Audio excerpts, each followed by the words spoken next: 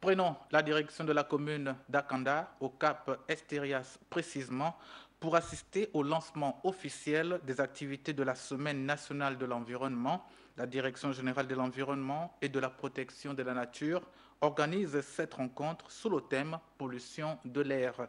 Les enjeux de cette thématique dans cet élément de Eric Nzengi Badinga et Jean-Pierre Moussouami. La semaine de l'environnement a été lancée ce 1er juin à l'école publique du Cap Estérias. Le thème de cette année est la pollution de l'air. Pédagogiquement, le cadre était approprié afin d'inculquer à la jeune génération les enjeux et problématiques liés à la thématique.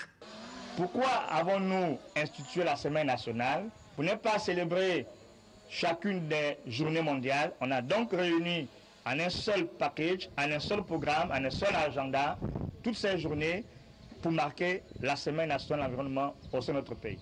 L'édition 2019 va donc s'étendre du 1er au 8 juin et les activités seront organisées à Mouila, à Fougamou, Lambaréné, Port-Gentil, Franceville et Libreville.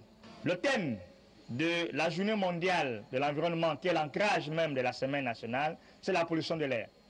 Nous sommes tous donc invités à faire un effort pour ne pas polluer notre air parce qu'il en va de notre santé.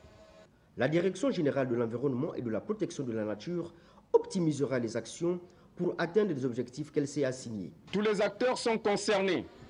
Les collectivités locales, les secteurs de l'éducation et de la santé, les médias, les artistes, les citoyens proactifs doivent se réunir pour créer une dynamique puissante et cohérente portée sur une communication positive et dans un esprit de réussite.